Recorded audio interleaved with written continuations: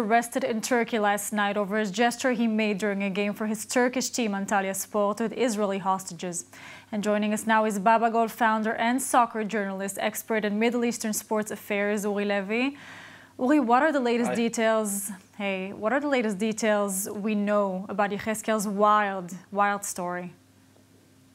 Yeah, I mean, uh, what we are hearing really in the time, the minutes before uh, our broadcast, is that uh, Sagiv Yehezkel is released and will be flying to Israel in a couple of hours in a private jet, according to my sources in uh, Turkey. Uh, just to recap on what has, this guy has been through in the past 24 hours.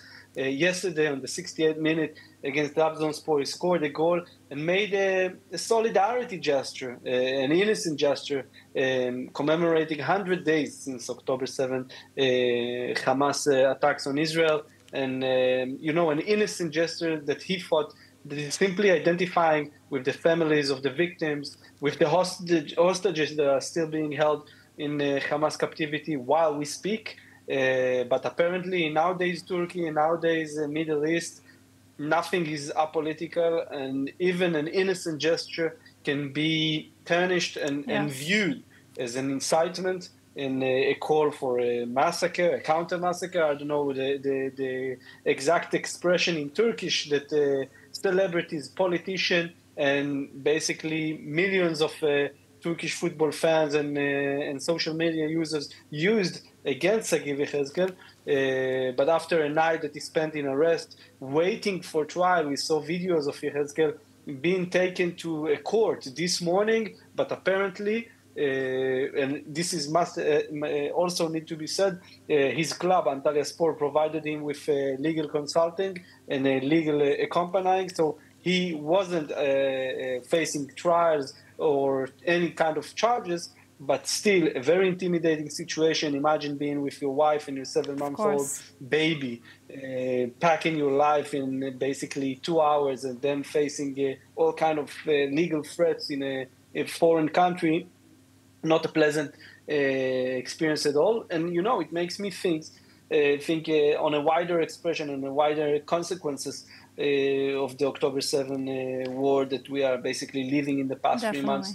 Are Israeli and Turkey are going to, you know, disconnect their uh, their ties, their diplomatic ties, their commerce ties? Where is this whole thing going? Because obviously, Uh, the line that the Turkish regime has taken since October 7 is unacceptable for, for Israelis if, you know, a simple innocent gesture cannot be made, you know, in a full heart.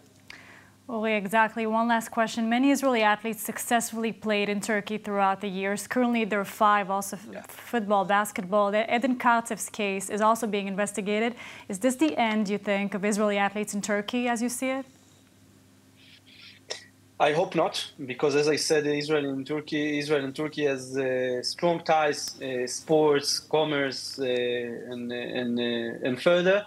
But yes, we are hearing this morning that Istanbul Başakşehir, a club that is very much identified and close uh, to the Turkish sports ministry, has uh, put Eden Kartsev into a disciplinary committee for his Instagram story also only showing his solidarity with the uh, Uh, victims and the hostages that are being held for 100 days in a row in Hamas captivity.